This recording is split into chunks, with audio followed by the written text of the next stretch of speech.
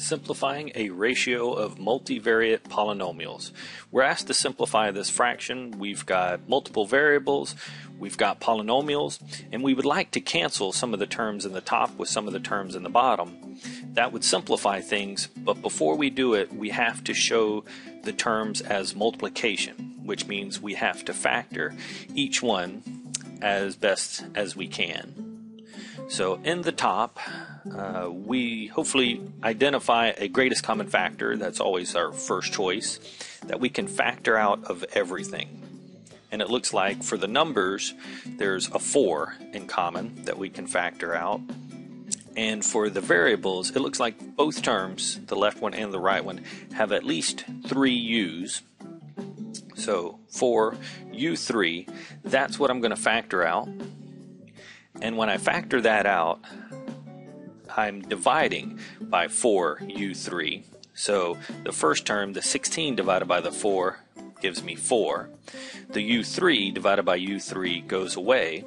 So that's just 4y3, because those are the ones that are left.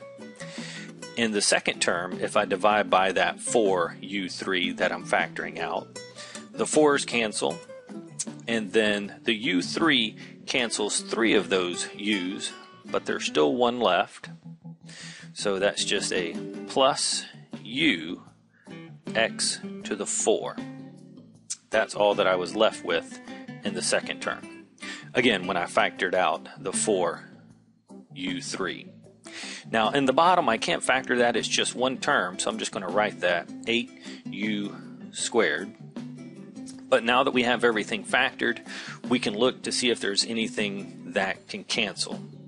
So looking at those first terms, I have this 4 in the top and the 8 in the bottom. I can cancel them now that I've got it factored. 4 goes into 4 once, 4 goes into 8 twice. And then the U's. I have two U's in the bottom. That will cancel two of the U's in the top. So what are we left with? In the top, I have that u, just one of them now because I canceled the other two. And I have 4y to the third plus u x to the fourth. There was nothing in there that would cancel. And in the bottom, I'm left with just the 2. You can distribute out that u if you like, or you can leave it just as is.